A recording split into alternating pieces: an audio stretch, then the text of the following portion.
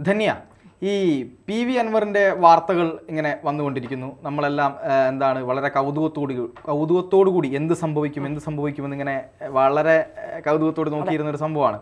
അപ്പോൾ ഇന്നലെ മാധ്യമങ്ങളിലൊക്കെ വന്ന വാർത്ത നമുക്ക് കിട്ടിയതടക്കമുള്ള സൂചനകൾ വെച്ചുകൊണ്ട് ഈ എം ആർ അജിത് കുമാറിനെ ഉടനടി മാറ്റും. ഈ പി വി അൻവറിന്റെ എന്താണ് അദ്ദേഹം കൊളുത്തിവിട്ടിട്ടുള്ള ആ ഒരു അസ്ത്രം കൃത്യമായ സ്ഥലത്ത് കൊണ്ടിരിക്കുന്നു. മുഖ്യമന്ത്രി പിന്നെ അതുപോലെ തന്നെ ഈ എന്താണ് പോലീസ് അസോസിയേഷന്റെ വേദിയിൽ അനിൽകുമാർ അജിത് കുമാറിനെ വേദിയിലിരുത്തിക്കൊണ്ട് അന്വേഷണം പ്രഖ്യാപിക്കുന്നു. പക്ഷേ ഇന്നേക്ക് ആ ഒരു സംഭവം കഴിഞ്ഞ് മാധ്യമങ്ങളെല്ലാം അങ്ങനെ പറയുമ്പോൾ സൈബർ സഹാക്കളെല്ലാം പറഞ്ഞു മുഖ്യമന്ത്രിടാ മാസ്ഡാ നിലപാടിടാ എന്നൊക്കെ പറഞ്ഞു പക്ഷെ ഇന്നത്തേക്ക് നോക്കുമ്പോൾ പട്ടക്കക്കട ഹുത്ത ഹവ എന്നുള്ള നിലയിലാണ് കാര്യങ്ങളുള്ളത്. ഏത് രീതിയിലാണ് ഈ കാര്യങ്ങൾ പോയിക്കൊണ്ടിരിക്കുന്നത്? പാർത്ത അതിലൊരു കാര്യം എന്ന് വെച്ചാൽ P V Anvar. P V അൻവറിനെ കുറേ നാളുകൾക്ക് മുൻപ് വരെ നമ്മുടെ രാഷ്ട്രീയക്കാർക്ക് മാധ്യമങ്ങൾക്കൊന്നും അത്ര വിലയില്ലായിരുന്നു. കാരണം എന്ത് വിളിച്ചു പറയാനുള്ള ഈ പി വി അൻവറിന്റെ ഒരു ഗുണമെന്ന് പറഞ്ഞാൽ ആർക്കെതിരെ എന്തും ചങ്കൂറ്റത്തോടെ വിളിച്ചു പറയും. അത് എന്നിട്ട് പോസ്റ്റ് ഇട്ട് അതിനെ ആർക്കെതിരെയാണോ പി വി അൻവർ തിരിഞ്ഞിരിക്കുന്നത്? അയാളെ നിലം പരിശാക്കുന്നത് വരെ പി വി അൻവർ പുറകിലുണ്ടാകും എന്നുള്ളതാണ് മറ്റൊരു യാഥാർത്ഥ്യം. അത് പരാജയപ്പെട്ടത് എനിക്ക് തോന്നുന്നു മറുനാടൻ മറുനാടൻ ഷാജൻ സ്കറിയയുടെ കാര്യത്തിൽ കുറെ എനിക്ക് തോന്നുന്നു അദ്ദേഹത്തിന്റെ ഓഫീസൊക്കെ റെയ്ഡ് ചെയ്ത് സിസ്റ്റോ അതും ഇതും ഒക്കെ പോലീസ് കൊണ്ടുപോയി. പിന്നീട് അദ്ദേഹം നിയമപോരാട്ടത്തിൽ നിയമ പോരാട്ടത്തിൽ അതെ. നിയമ പോരാട്ടമൊക്കെ നടക്കുന്നുണ്ട്. അത് അതിന്റെ വഴിക്ക്. പി വി അൻവറിനെ പോലുള്ള ഒരാൾ സത്യത്തിൽ ഇപ്പോ പണി കൊടുത്തത് പിണറായി വിജയനാണെന്ന് ഞാൻ പറയൂ. കാരണം എം ആർ അജിത് കുമാർ പിണറായിയുടെ ഏറ്റവും വിശ്വസ്തനായിട്ടുള്ള ഒരാളാണ്. അദ്ദേഹത്തെ എ ഡി ജി പി സ്ഥാനത്ത് നിന്ന് മാറ്റിക്കൊണ്ട് ഒരിക്കലും പിണറായി ഒരു അന്വേഷണം പ്രഖ്യാപിക്കില്ല. ആ സ്ഥാനത്ത് ഇരുത്തിക്കൊണ്ട് മാത്രമേ പിണറായി അന്വേഷണം പ്രഖ്യാപിക്കൂ എന്നുള്ളത് ഏത് കൊച്ചുകുട്ടിക്കും അറിയാവുന്ന കാര്യമാണ്. കാരണം എം ആർ അജിത്കുമാർ പിണറായിയുടെ ആരാണെന്ന് ഇടതുപക്ഷത്തും കേരള രാഷ്ട്രീയത്തിലുള്ളവർക്കും രാഷ്ട്രീയത്തെ പിന്തുടരുന്നവർക്കും മാധ്യമപ്രവർത്തകർക്കും എല്ലാവർക്കും അറിയാവുന്ന കാര്യമാണ്. അതുകൊണ്ട് തന്നെ എം ആർ അജിത് കുമാർ ഒരിക്കലും മാറി നിൽക്കില്ല. പക്ഷെ ഇപ്പോ പി വി അൻവർ എല്ലാവർക്കും ഒരു ഹീറോയാണ്. കാരണം പിണറായി വിരുദ്ധരും പിണറായിയോടൊപ്പം പ്രവർത്തിക്കുന്നവർക്കും ഒക്കെ ഇപ്പോൾ അൻവർ ഒരു ഹീറോ പരിവേഷമാണ്. കാരണം എന്തുകൊണ്ടാണ് പിണറായിയുടെ പുക കാണാനാണ് അൻവർ പല കാര്യങ്ങളും തുടക്കമിട്ടത്. സുജിത് ദാസിനെ തൊട്ട് തുടങ്ങി. പക്ഷേ സുജിത് ദാസിനെ മാറ്റാനും പിണറായിക്ക് കഴിയില്ല. സ്ഥലം മാറ്റിൽ ഒതുക്കി. എം ആർ അജിത് കുമാറിന്റെ ഇന്നത്തെ മലയാള മനോരമയിലുണ്ട്.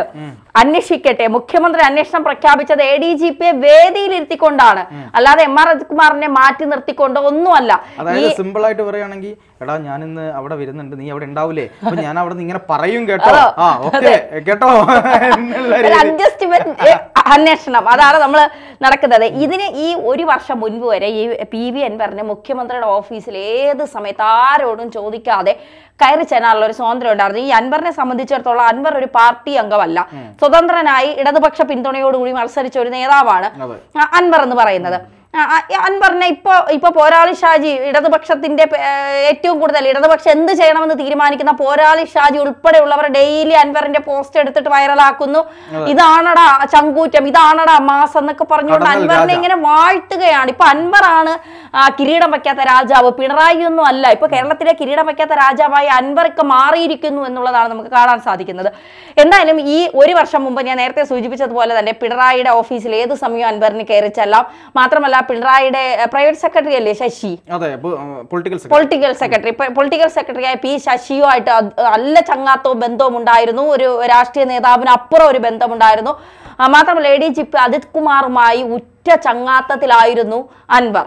ഈ ഉറ്റ ചങ്ങാതിമാർ പിണങ്ങിയാലുള്ള ഒരു പ്രശ്നം എന്തെന്ന് പറഞ്ഞാൽ ഉറ്റ ശത്രുക്കളാവും രഹസ്യങ്ങളെല്ലാം പരസ്യവുമാവും. കാരണം സുഹൃത്തുക്കളായിരിക്കുമ്പോൾ പറഞ്ഞ പല കാര്യങ്ങൾ അങ്ങോട്ടും ഇങ്ങോട്ടും പിണങ്ങിക്കഴിയുമ്പോൾ പിണങ്ങി കഴിയുമ്പോൾ പിന്നെ നീ നീ എന്നോട് അങ്ങനെ അന്ന് പറഞ്ഞില്ലേടാ നീ എന്നോട് ഇങ്ങനെ അന്ന് പറഞ്ഞില്ലേടാ എന്നൊക്കെ പറഞ്ഞുകൊണ്ട് പിന്നെ ഈ കൊച്ചുകുട്ടികളെ കൊച്ചു കുട്ടികളെ പോലെ അങ്ങോട്ടും ഇങ്ങോട്ടും പറഞ്ഞു കിടന്ന് തമ്മി തല്ലുന്ന ഒരു രീതി നമുക്ക് കാണാൻ സാധിക്കും. ഇവിടെയും അത് തന്നെയാണ് സംഭവിച്ചിരിക്കുന്നത്. എന്തായാലും ഈ പിണറായി വിജയന് വേണ്ടി ഒരു പൊളിറ്റിക്കൽ ഉപകരണമായി എ ഡി ജി പിയും പോലീസുകാരും പ്രവർത്തിച്ചു എന്ന് പറയാതിരിക്കാൻ കഴിയില്ല. കാരണം അത്തരത്തിലുള്ള കാര്യങ്ങളാണ് ഇപ്പോൾ ഈ കൊട്ടാര സമാനമായ വീട് ഉൾപ്പെടെയുള്ള കാര്യങ്ങളാണ് പി വി അൻവർ ഇപ്പോൾ പുറത്തുവിട്ടിരിക്കുന്നത്. പി വി അൻവർ പുറത്തുവിട്ട കാര്യങ്ങളൊന്നും ചെറുതല്ല. കാരണം പി വി അൻവർ ഒരു വലിയ പത്രപ്രവർത്തക ഇൻവെസ്റ്റിഗേഷൻ പത്രപ്രവർത്തകനായിക്കൊണ്ടാണ് ഈ കാര്യങ്ങളൊക്കെ പുറത്തുവിട്ടിരിക്കുന്നത്. അദ്ദേഹം കൃത്യമായി കാര്യങ്ങൾ അന്വേഷിച്ച് അതിന്റെ തെളിവുകൾ ശേഖരിച്ച് അദ്ദേഹത്തെ വിളിച്ച വാട്സപ്പ് കോൾ വരെ അദ്ദേഹം റെക്കോർഡ് ചെയ്ത് ഉണ്ടായത് അത് പുറത്ത് വിട്ടുകൊണ്ടൊക്കെയാണ് അദ്ദേഹം ഈ ഒരു എനിക്ക് തോന്നുന്നു മാധ്യമ രംഗത്ത് ഇപ്പൊ ഇൻവെസ്റ്റിഗേഷൻ ജേർണലിസ്റ്റുകൾ ആരുമില്ല. പി വി അൻവറിനെ ഏതെങ്കിലും മാധ്യമത്തിന് എടുക്കാം. നല്ലൊരു ഇൻവെസ്റ്റിഗേഷൻ ജേർണലിസ്റ്റ് ആയിട്ട് അദ്ദേഹത്തെ എടുക്കാമെന്ന് എനിക്ക് തോന്നുന്നു. രാഷ്ട്രീയ നേതാവിനപ്പുറം നല്ലൊരു പത്രപ്രവർത്തകനാണ്. ഇൻവെസ്റ്റിഗേഷൻ ജേർണലിസ്റ്റ് നല്ലൊരു ഭാവി അദ്ദേഹത്തിന് ഞാൻ കാണുന്നുണ്ട് എന്നുള്ളതാണ്.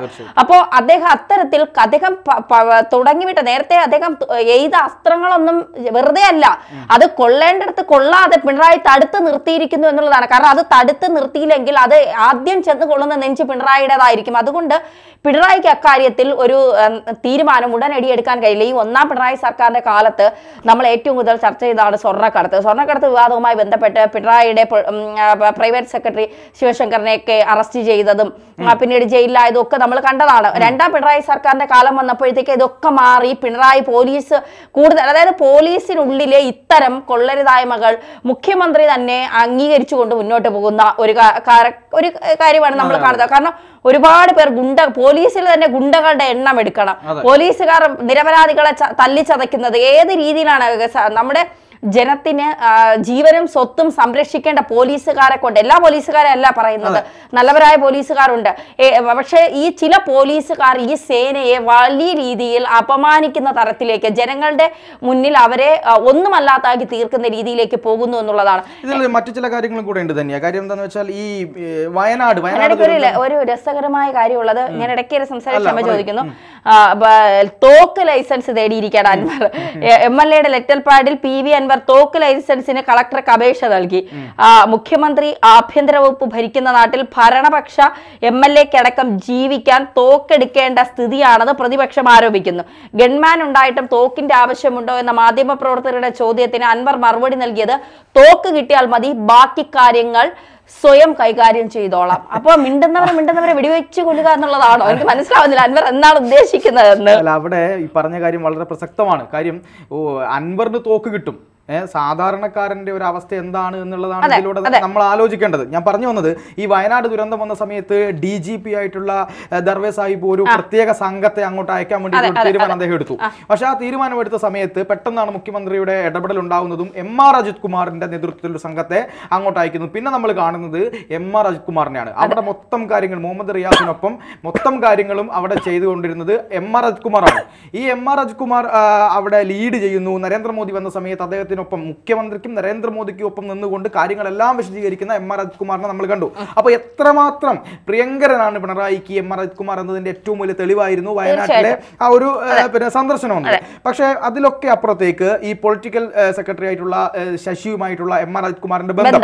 ഇപ്പൊ ഞാൻ സത്യത്തിൽ ഇന്നലെ വിചാരിച്ചത് മുഖ്യമന്ത്രിയുടെ നിലപാട് കണ്ടിട്ട് ഈ എന്താണ് ഈ എ ഡി ജി പി സ്ഥാനത്ത്. എ ഡി ജി പി എന്ന് പറയുമ്പോൾ വെറും ഒരു എ ഡി ജി പി. അല്ല. ക്രമസമാധാന ചുമതലയുള്ള എ ഡി ജി പിയും അതുപോലെ തന്നെ കേരള ചരിത്രത്തിൽ ആദ്യമായി ബറ്റാലിയന്റെ ചുമതലയും ക്രമസമാധാനത്തിന്റെ ചുമതലയും വഹിക്കുന്ന എ ഡി ജി പി എന്ന് പറയുന്ന ആദ്യത്തെ വ്യക്തിയാണ് ആര്? ഈ പറയുന്ന A D G P M R Kumar രണ്ട് എ ഡി ജി പി ഉണ്ടായിരുന്നത് പിന്നീട് മാറ്റുകയും ഒരു എ ഡി ജി പി ആക്കി മാറ്റുകയാണ് ചെയ്തത് മൊത്തം അധികാരങ്ങളും തന്നിലേക്ക് കേന്ദ്രീകരിപ്പിക്കുക എന്ന കാര്യമാണ് അജിത് കുമാർ ചെയ്തുകൊണ്ടിരിക്കുന്നത്. ഓക്കെ അവിടെ തന്നെ നമുക്ക് കാണാൻ കഴിയുന്ന ഒരു പ്രധാനപ്പെട്ട കാര്യം എന്ന് പറയുന്നത് ഈ അജിത് കുമാറിന്റെ ഇത്തരം ചില കാര്യങ്ങൾ അതായത് അദ്ദേഹത്തിന്റെ പല പ്രവർത്തനങ്ങളും മുന്നോട്ട് പോകുന്നത് ഏത് രീതിയിലാണ് പിണറായിക്കും അതുപോലെ തന്നെ എന്താണ് ഈ പൊളിറ്റിക്കൽ സെക്രട്ടറിയുടെ നിർദ്ദേശപ്രകാരമൊക്കെയാണ് ഇതിൽ ഡി ജി പിക്ക് കൃത്യമായ എന്തുണ്ട്? ഇതിൽ തന്റെ അതായത് താൻ തഴയപ്പെടുന്നു അല്ലെങ്കിൽ തന്റെ സൂപ്പർ ഡി ജി പി കളിക്കുന്നു എന്ന പരാതി അദ്ദേഹത്തിനുണ്ട്. ഇപ്പോൾ ഈ പരാതി വന്ന സമയത്ത് പോലും ഡി ജി പിയുടെ നേതൃത്വത്തിൽ ഒരു സംഘത്തെ വെക്കുന്നു എ ഡി ജി പിയെ മാറ്റുന്നില്ല. ഈ ഡി ജി പിക്ക് അതിൽ കൃത്യമായ അതൃപ്തിയുണ്ട് എന്ന് തന്നെയാണ് നമുക്ക് പുറത്തു വരുന്ന ഈ പി ശശിയാണ് പലരും ഉന്നം വെച്ചത്. പ്രത്യേകിച്ച് നമ്മുടെ എം വി ഗോവിന്ദൻ ഉൾപ്പെടെയുള്ളവർ ഈ അജിത് കുമാറിലൂടെ ശശിക്കും ഒരു മാറ്റം സംഭവിക്കും സ്ഥാനഭ്രഷ്ടനാക്കും എന്നൊക്കെയുള്ള ഒരു ഇതുണ്ടായിരുന്നു. അത് മണത്തറിഞ്ഞിട്ടാണ് പിണറായി ഇതെല്ലാത്തിലും ഒരു കടിഞ്ഞാൻ ഇട്ടതെന്നുള്ളത്. പക്ഷേ പി വി അൻവർ പറയുന്നത് പിണറായിക്ക് നേരെയാണ്. അതായത് ആഭ്യന്തര വകുപ്പിന് നേരെയാണ് ഏറ്റവും കൂടുതൽ ആരോപണങ്ങൾ പി വി അൻവർ ഉന്നയിച്ചിരിക്കുന്നത്. ഈ ആരോപണങ്ങൾ ആഭ്യന്തര വകുപ്പ് ഭരിക്കുന്നത് മുഖ്യമന്ത്രി പിണറായി വിജയനാണ്. പിണറായിയുടെ കീഴിലുള്ള ആഭ്യന്തരത്തിന് നേരെയാണ് ഇത്തരത്തിൽ ഒരു അതായത് ഒരു മുതിർന്ന ഉന്നതനായ പോലീസ് ഉദ്യോഗസ്ഥനെതിരെയാണ് പി വി അൻവറിന്റെ വിരലുകൾ ചൂണ്ടുന്നത്. അദ്ദേഹം തെറ്റ് ചെയ്തിട്ടുണ്ട് അഴിമതി നടത്തിയിട്ടുണ്ടെന്നൊക്കെ പറയുന്നത് അത്തരത്തിലാണ്. അപ്പൊ അത് അന്വേഷിക്കേണ്ട ചുമതല പിണറായിക്കുണ്ട് എന്ന് മാത്രമല്ല പി വി അൻവർ പുറകിൽ കൂടി മൂക്കി തൊടുന്നത് പിണറായിയെ തന്നെയാണ്. അത് ഈ പാവം മനുഷ്യന് മനസ്സിലാകുന്നില്ല എന്നുള്ളതാണ് യാഥാർത്ഥ്യം. അതായത് നോക്കൂ തന്നെയാ പിണറായിയുടെ ഒരു അവസ്ഥ ആലോചിച്ചു നമ്മൾ. ഇങ്ങനെയൊക്കെ പറയുമ്പോഴും അദ്ദേഹം എത്രമാത്രം ബുദ്ധിമുട്ടിലാണ് എന്നുള്ളതാണ് ഞാൻ ആലോചിക്കുന്നത് ആലോചിക്കുന്നത് കാര്യം ഈ അജിത് കുമാറിനെതിരെ ഒന്നും ചെയ്യാൻ പറ്റത്തില്ല. പൊളിറ്റിക്കൽ സെക്രട്ടറി ശശിക്കെതിരെയും അജിത് കുമാറിനെതിരെയും ഒന്നും പറ്റത്തില്ല അതേപോലെ തന്നെ അൻവറിനെ പറ്റില്ല. എല്ലാവർക്കും എല്ലാ കാര്യങ്ങളും അറിയാം. ഇതിനിടയിൽ നിന്നുകൊണ്ട് വലിയ ഒരു അതായത് ചെകുത്താനും കടൽ കടലിൽ ഇതിൽ ആരാണ് നടുക്കാണ് ചെകുത്താൻ ആരാണ് കടൽ എന്ന് പിണറായിക്ക് തീരുമാനിക്കാൻ കഴിയാത്ത ഒരു അവസ്ഥയിലേക്ക്. കാര്യങ്ങൾ. എന്നുള്ളതാണ് ഈ ഒരു അവസ്ഥയിലൂടെ പോകുമ്പോൾ എന്ത് ചെയ്യണം എങ്ങനെ ഇതിനെ കൈകാര്യം ചെയ്യണം എന്നത് വളരെ വലിയൊരു ചോദ്യമാണ് തീർച്ചയായിട്ടും. തന്നെയായാലും ഈ വേറൊരു ചോദ്യം ഇങ്ങനെ ഓരോന്ന് വരുന്നുണ്ട് ഈ A D G P M R Rajkumar ക്രമസമാധാന ചുമതലയിലും ബറ്റാലിയൻ ചുമതലയിലും ഇരിക്കെ അദ്ദേഹം അടുത്തത് ഡി ജി പി ആവാൻ വേണ്ടിയിട്ടാണ്. അദ്ദേഹം അടുത്ത ഡി ജി പി ആവും. അദ്ദേഹത്തിന്റെ സീൻ ജൂനിയർ ആയിട്ടുള്ള ഉദ്യോഗസ്ഥന്മാരെ വെച്ചുകൊണ്ട് ദർവേ സാഹിബ് ഇപ്പൊ ഇറങ്ങിപ്പോവും. കുറച്ചു കാലം കൂടി ഉള്ളൂ. അപ്പൊ ഇദ്ദേഹത്തിന്റെ ഈ ഇപ്പൊ അന്വേഷിച്ചിട്ടുള്ള സംഘങ്ങൾ എങ്ങനെയാണ് അദ്ദേഹത്തിന് റിപ്പോർട്ട് കൊടുക്കുക? അതുപോലെ തന്നെ സുജിത് ദാസിനെ മാറ്റും. ഒന്നുമില്ലെങ്കിൽ സസ്പെൻസ് സുജിത് ദാസിനെ കൃത്യമായി ഈ ആരോപണങ്ങൾ. അദ്ദേഹത്തെ സർവീസിൽ തന്നെ ഇരിക്കാൻ തെളിഞ്ഞാൽ സർവീസിൽ തന്നെ ഇരിക്കാൻ യോഗ്യനല്ല അദ്ദേഹം. അപ്പോൾ അപ്പോ അദ്ദേഹത്തെ സ്ഥലം മാറ്റുകയാണ്. നീ ഒന്ന് അപ്പുറം പോയി ഇരിക്കടേ നീ ഇവിടെ നിന്ന് മാറടേ എന്ന് പറയുന്ന പോലെ തൃശ്ശൂർ പൂരത്തിന്റെ സമയത്ത് നമ്മുടെ കമ്മീഷണർ അല്ലേ? പൂരം കലക്കി എന്ന് പൂരം പറഞ്ഞുകൊണ്ട് വലിയ കളിക്കുന്ന മാറ്റും മാറ്റും മാറ്റും എന്ന് പറഞ്ഞിട്ട് പിന്നീട് സ്ഥലം മാറ്റി. പിന്നീട് നാട്ടിലേക്കാണെന്ന് പറയുന്നു. എനിക്കറിയില്ല. എത്ര അത് സ്ഥലം മാറ്റലല്ല അദ്ദേഹത്തിന് ഒരു ആശ്വാസം കൊടുത്തു എന്നൊക്കെയാണ് പിന്നീട് പല മാധ്യമങ്ങളും അത് വാർത്തയാക്കിയത്. എന്തായാലും ഡി ജി പിയുടെ ഒരു സ്ഥാനത്തേക്ക് ഇനി അജിത് കുമാർ അജിത് കുമാറിന്റെ വരവിനായി നമുക്ക് കാത്തിരിക്കാം. പക്ഷെ അതിന് അൻവർ അനുവദിക്കുമോ എന്നുള്ളതാണ് അങ്ങനെ അല്ല എങ്കിൽ ഇപ്പോൾ ഈ ഇവിടെ വരുന്ന ഏറ്റവും വലിയ പ്രശ്നം എന്തെന്ന് പറയുന്നത് ഇത് പിണറായി അൻവറും തമ്മിലുള്ള ഒരു പോരിലേക്ക് ഇത് മാറും. അതായത് ഇപ്പോ പോരാളി അൻവർ എന്നാണ് എല്ലാരും പറയുന്നത്. രാഷ്ട്രീയത്തിലെ പോരാളി അൻവർ എന്നാണ് എല്ലാവരും പറയുന്നത്.